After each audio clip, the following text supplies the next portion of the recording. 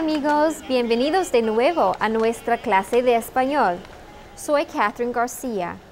Today we are going to cover months, dates, holidays, and all about adjectives.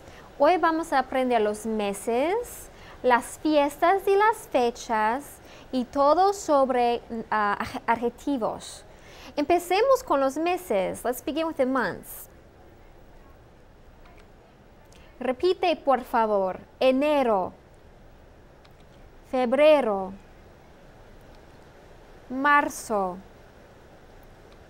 abril, mayo, junio, julio, agosto, septiembre, octubre, noviembre, diciembre. Notice the vowel sounds. Fíjate en la pronunciación. Pay, attention to the pronunciation. Las vocales A, E, I, O, U. Agosto, octubre, diciembre. Let's do it one more time together. Repite, por favor. Enero, febrero, marzo, abril, mayo, junio, julio, agosto, septiembre, octubre, noviembre, diciembre. ¿Lo puedes hacer tú solito? Can you do it on your own?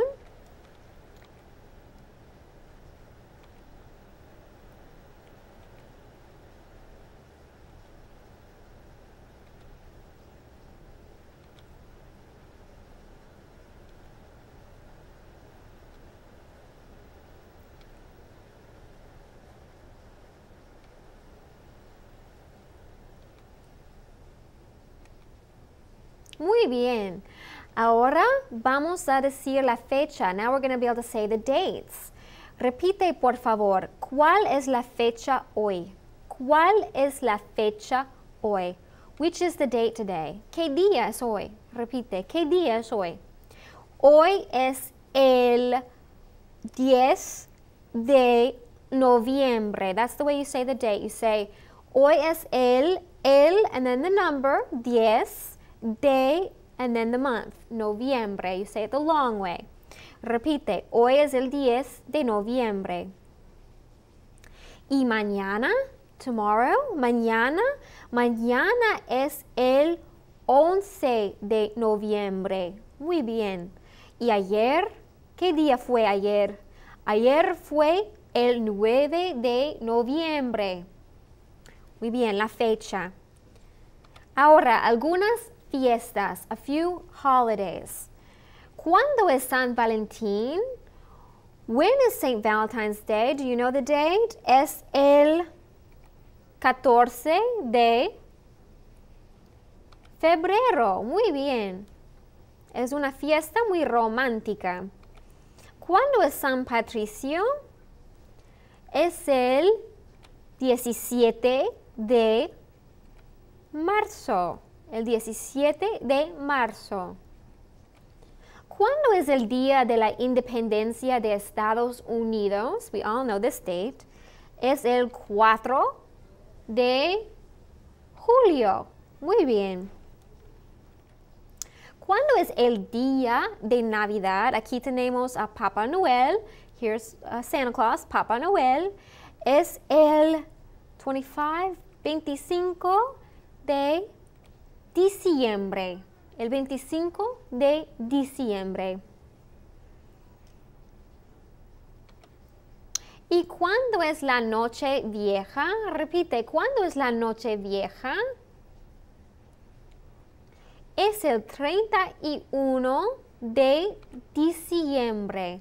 La noche vieja es New Year's Eve. La noche buena es Christmas Eve.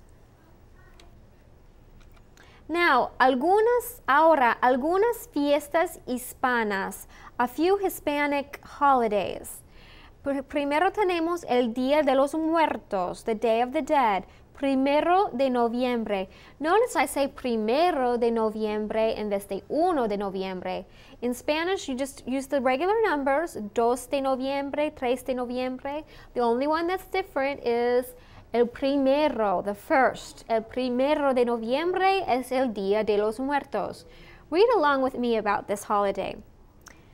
El Día de los Muertos es una celebración azteca desde hace más de 3,000 años. The Day of the Dead is an Aztec celebration which originated more than 3,000 years ago. Cuando llegaron los españoles, cambiaron la fecha para que coincidiera con All Saints Day. When the Spanish arrived, they changed the date so that it would coincide with the Catholic holiday All Saints Day. Hoy en día, la gente de México y los latinos en Estados Unidos celebran esta fiesta. Today, people, the Mexican people and Latinos in the United States celebrate this holiday construyendo altares para miembros fallecidos de la familia by constructing altars for members of the family that have passed away. And we see here we have a little esqueleto, a skeleton, la calavera, the skull, y velas, candles, y flores, flowers. Hay un altar, an altar. Y aquí hay el cementerio. The, the people go to the cemetery, el cementerio, to put flowers on graves and so on and so forth. Muy bien. Ahora, otra fiesta.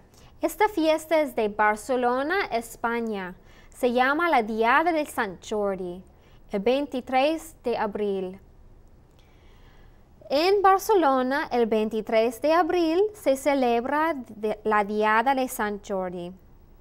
El San Jorge es el santo patrón de la ciudad. Saint George, in Catalan called Saint Jordi, Catalan is the language of Barcelona, um, he is the patron saint of the city.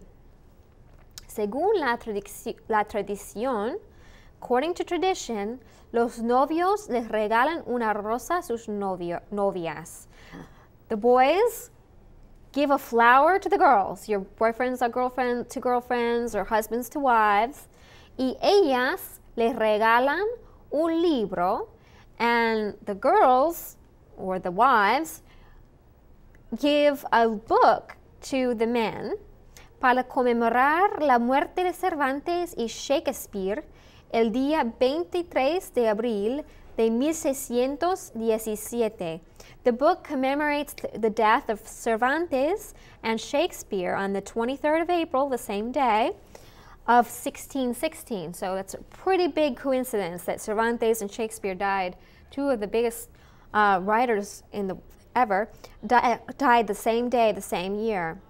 Se venden más de cuatro millones de rosas more than 4 million roses are sold y 400 mil libros al cada año.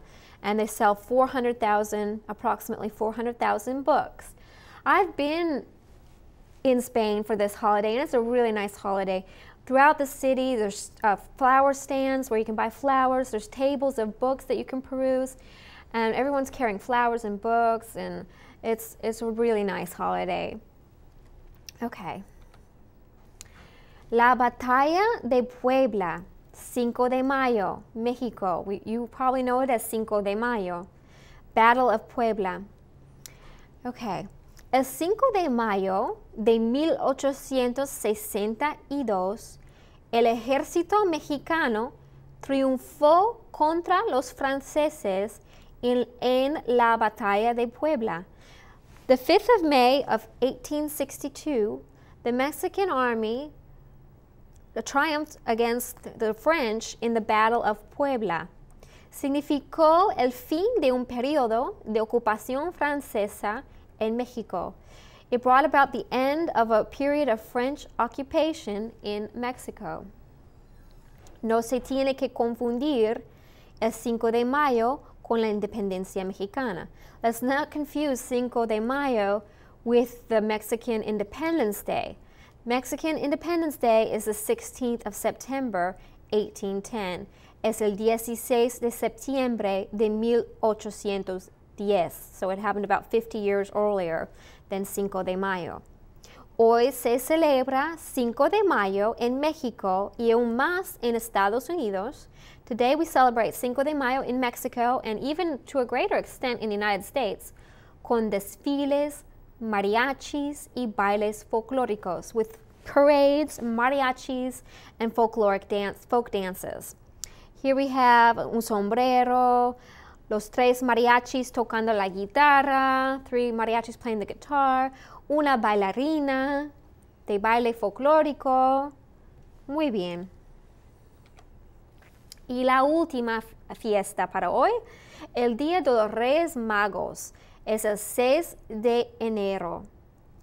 En la mayor parte del mundo hispano se celebra el 6 de enero el Día de los Reyes.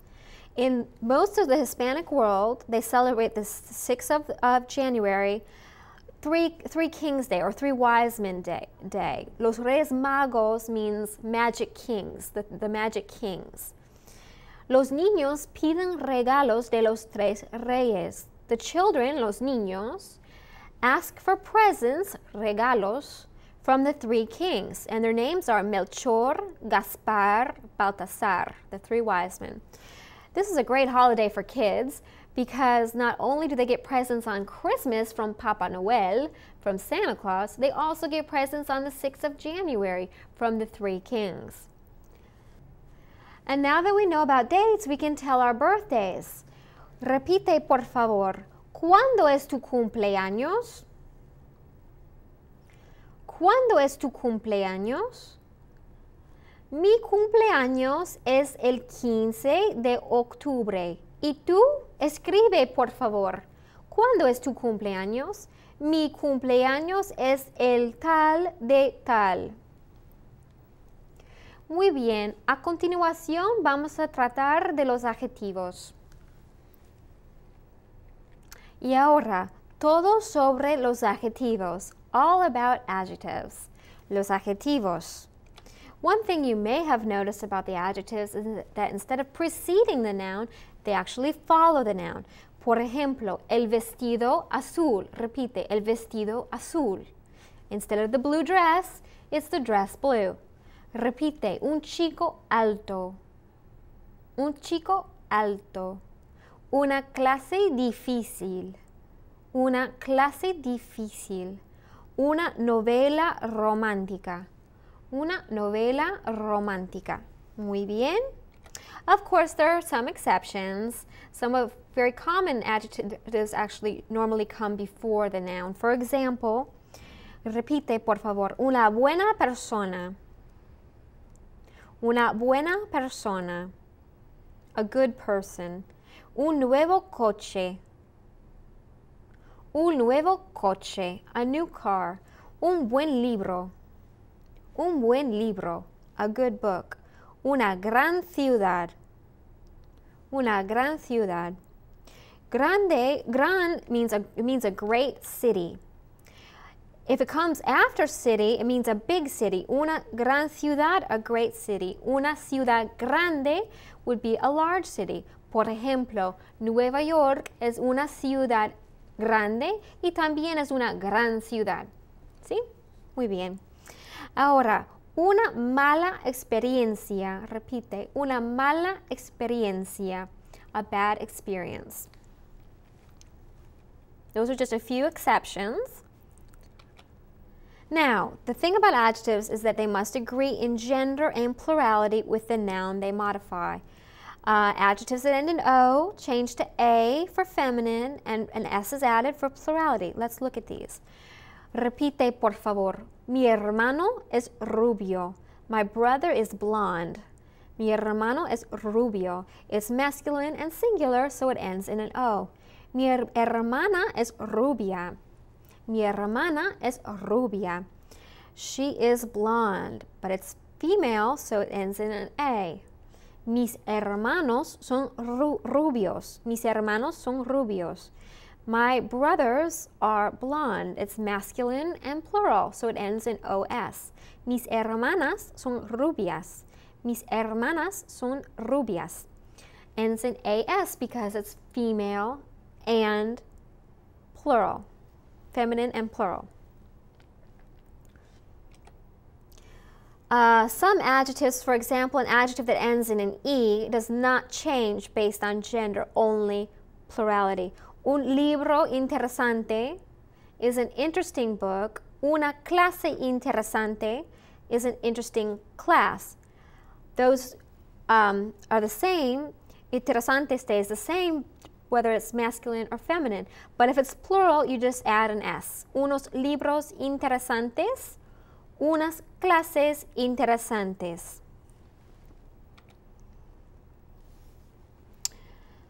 Normally, if the adjective ends in a consonant, you add A for feminine, ES for masculine, and AS for feminine plural. Masculine plural is ES, and AS for feminine plural. Trabajador, what does that mean? That means hard working. Un chico trabajador, a hard working boy. Una chica trabajadora. Repite, una chica trabajadora. A hardworking girl. Unos chicos trabajadores. ES, ASA. Unas chicas trabajadoras. AS. Okay, some exceptions are intelectual. Doesn't you don't add an A. It's just una un chico intelectual, una chica intelectual. Difícil doesn't change either. Un libro difícil, una clase difícil doesn't change. Ahora, los contrastes, opposites. Here are some common adjectives that you can use to describe people. Um, do you know any of the opposites to these words? Let's go through them one by one. Joven, repite, joven. Joven is young. So do we know how to say old? Viejo. Repite, viejo. Joven, viejo. Alto. Alto is tall. Repite, alto. Bajo. Or if you want to say just a little bit short or petite or bajito, you can say bajito. Grande, big or large. Pequeño, small delgado, thin. Do we know fat? Gordo. Of course, you can always say gordito if you want to say, you know, a little bit fat. Delgado is thin. If you want to say skinny, it's flaco. Un chico flaco, una chica flaca. Rubio, we've been using, is blonde. Do we know how to say dark hair? Moreno. Corto. Corto is short as opposed to long. Uh, not short in stature, but sh like short hair, for example. Tiene el pelo corto. He has short hair. So long hair would be el pelo largo. Rico, do you know poor? Rico y pobre. Muy bien. Generoso is obviously generous. And tacaño would be like stingy. Listo in this case, we're, we're, we're talking about listo as clever or smart. In some cases, when you use it with a star, you, it means to be ready. For example, if I say listos, estáis listos, are you ready to move on? That would be estar listo, to be ready. But listo here means clever or smart. And the, uh, do you know the opposite of listo would be tonto. Listo, tonto. Okay, see if you can write this in Spanish. Escribe, por favor. My lazy cats. We know how to say cats, gatos, no? Lazy is actually perezoso.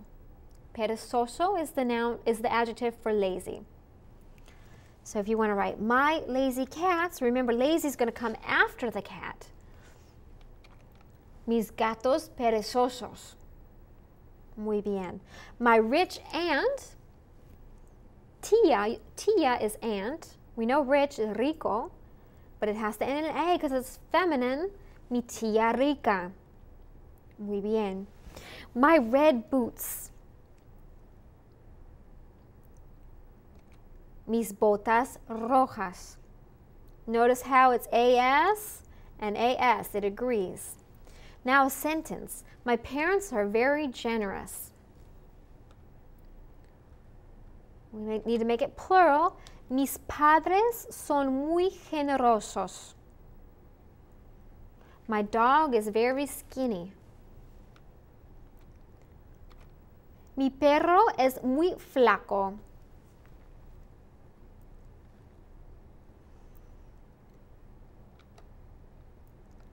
¿Cómo son? Let's describe these people in the pictures. Ella, la chica, ¿cómo es ella? ¿Es joven o vieja? Es joven, ¿verdad? ¿No? ¿Es rubia o morena? Es muy morena. Muy bien. ¿Es uh, delgada o es gorda? Es delgada. ¿Es guapa? Normally to say if somebody's pretty, in Spain they say guapo, guapa for good looking. Uh, lots of times in Mexico they would say linda. Bonito is another word for pretty. Okay, es una chica guapa, ¿no? Y el chico, el chico aquí, ¿es rubio? Sí, es rubio. También es joven, ¿no? Y es guapo. Y Papa Noel, ¿cómo es Papa Noel? Papa Noel es joven o viejo? Es muy viejo, ¿no? ¿Es uh, flaco o gordo?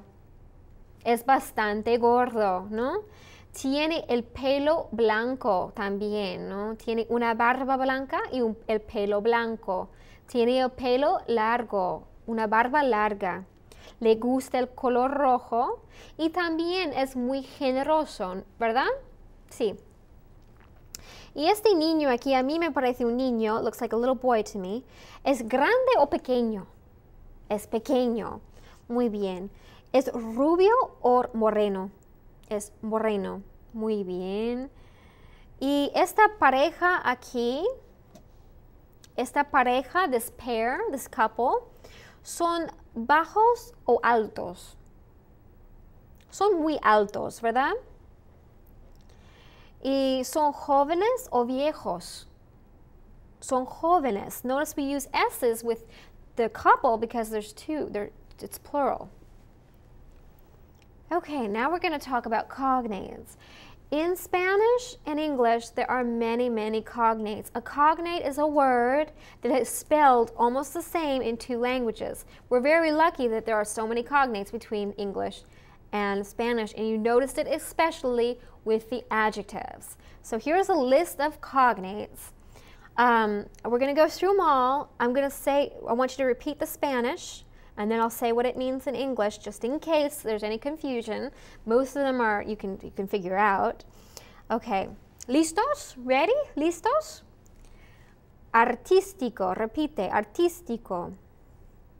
Artistic. Arrogante. Arrogant. Atlético. Athletic. Bilingüe. Bilingual cómico,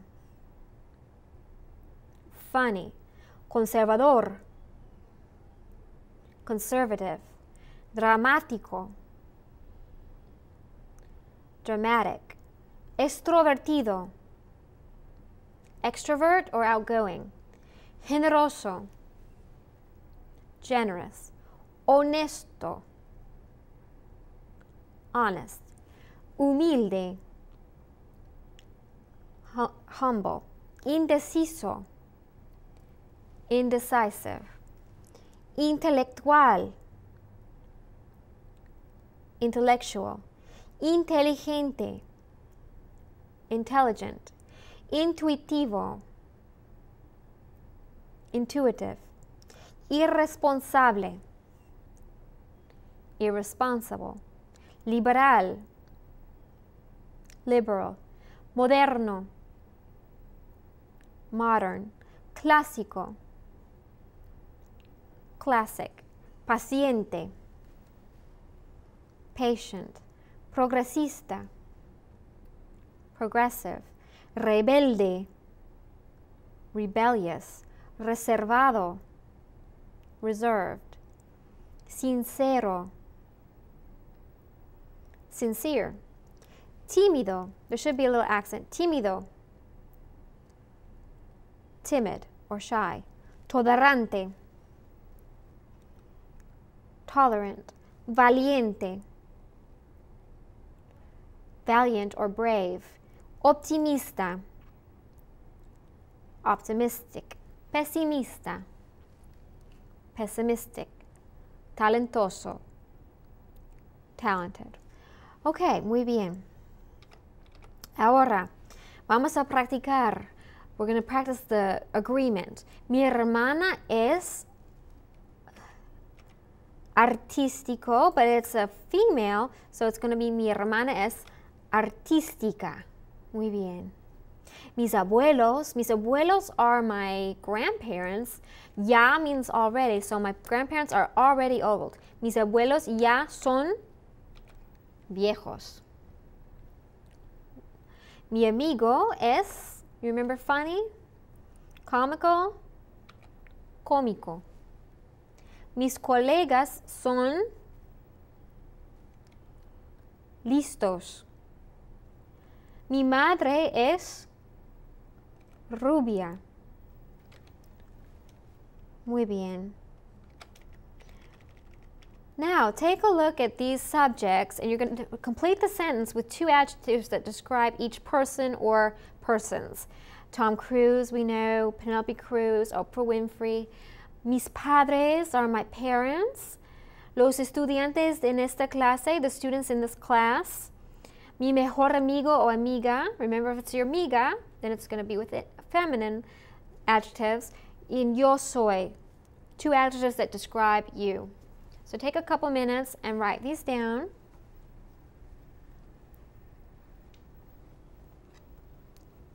Escribe, por favor.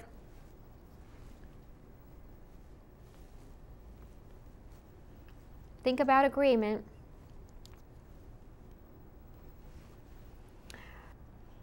Vale, voy a escribir algunos ejemplos. I'm going to write some examples.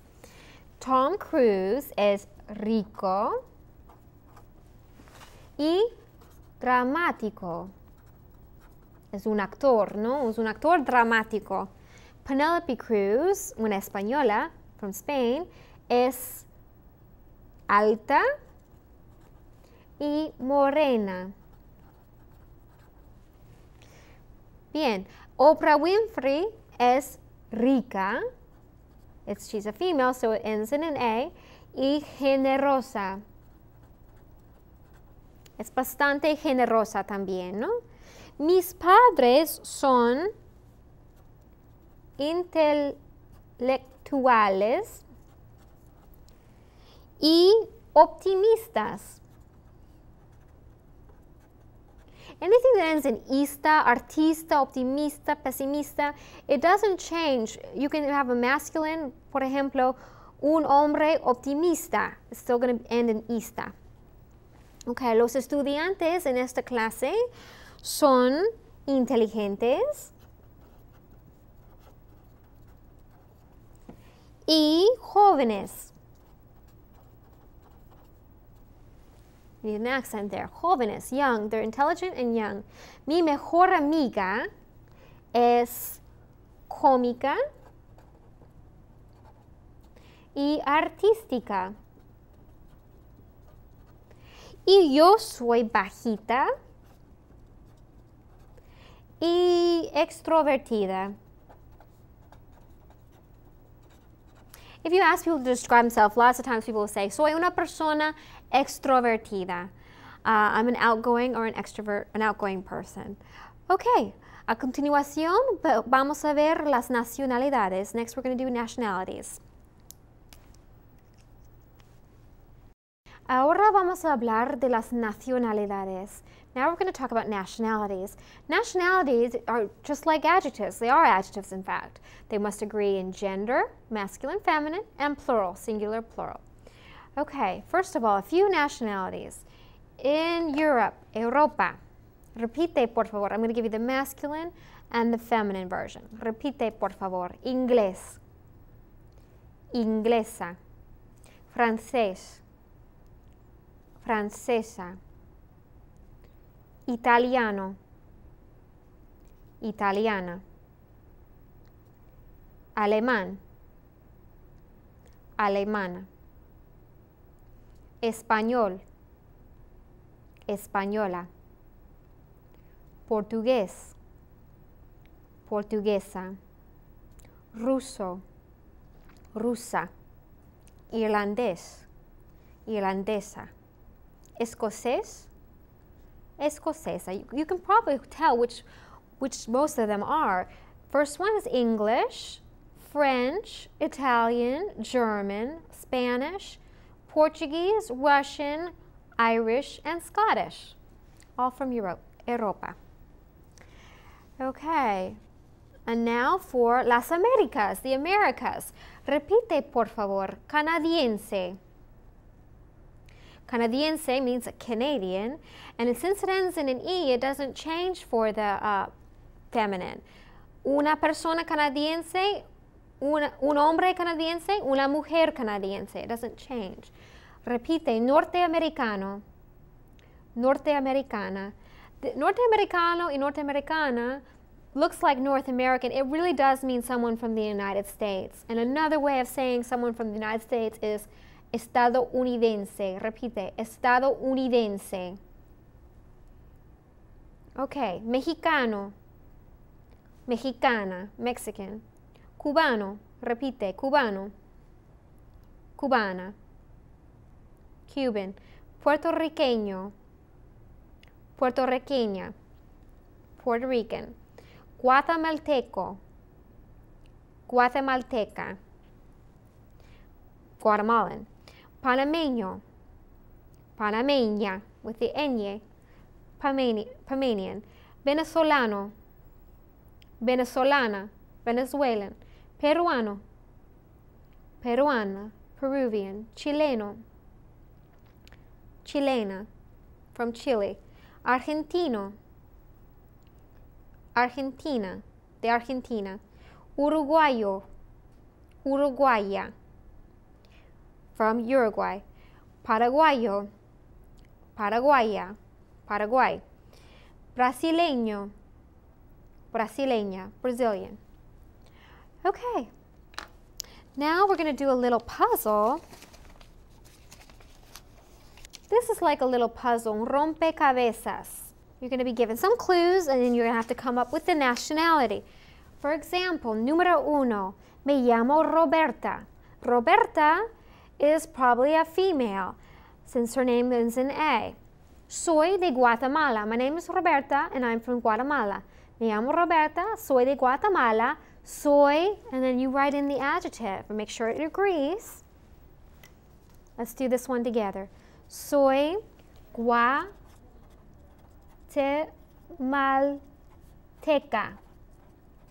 Ends in an A because she's Guatemalan, she's female. Somos Juan y Mercedes. Somos de DF. Somos. Escribe, por favor. Do you remember what DF is? It's the capital of a country. Es la capital de México. DF es lo mismo que la Ciudad de Mexico. So they're from Mexico and it's plural, so they're mexicanos. OS. Mexicanos. Número tres. Me llamo Javier. My name is Javier. Vengo desde Argentina. I come from Argentina. Soy argentino. Ahora, número cuatro. Me llamo Maite. Soy de Madrid. Soy española. Maite is a, a girl's name. Okay. Somos Rosa y Lucinda, dos chicas, ¿verdad? Somos de Panamá. Somos panameñas. AS, fem feminine and plural. Soy Elizabeth. Vivo en Nueva York. I live in New York. Soy Elizabeth. Soy norte americana. Because it's Elizabeth.